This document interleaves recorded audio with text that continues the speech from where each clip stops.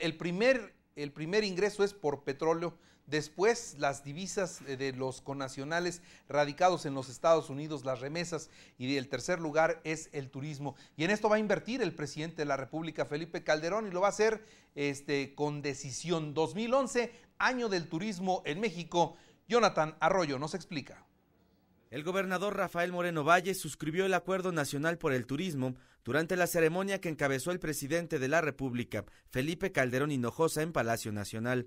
Son los rectores de las 100 acciones que habremos de impulsar todos los que hoy suscribimos el Acuerdo Nacional por el Turismo. Vamos a hacer de México uno de los cinco principales destinos turísticos en todo el mundo, tanto en llegada de turistas, en entrada de divisas, en los próximos años. El mandatario estatal coincidió en la necesidad de implementar este programa en la entidad poblana para que el turismo se convierta en una fuente de ingresos y desarrollo económico. Siente que en Puebla queremos replicar este ejercicio, así como se ha hecho a nivel federal con los gobernadores, con las dependencias federales, con los organismos empresariales nacionales.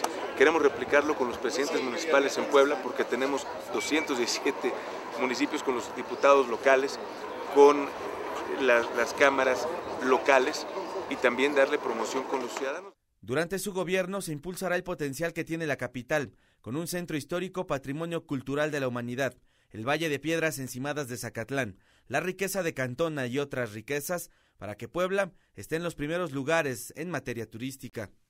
Hay que celebrar este acuerdo porque no solo están participando los políticos, están participando los empresarios, pero se está invitando a participar a todos los mexicanos.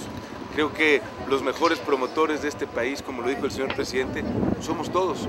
Y en este sentido tenemos una obligación moral con nuestro país. Se prevé incrementar el flujo de turistas nacionales en 300 millones y en 50 millones los visitantes extranjeros para que conozcan atractivos como las rutas de México, pueblos mágicos, zonas arqueológicas, destinos de sol y playa, entre otros. Informó para SICOM Noticias Jonathan Arroyo. Y Puebla es un estado con paz laboral y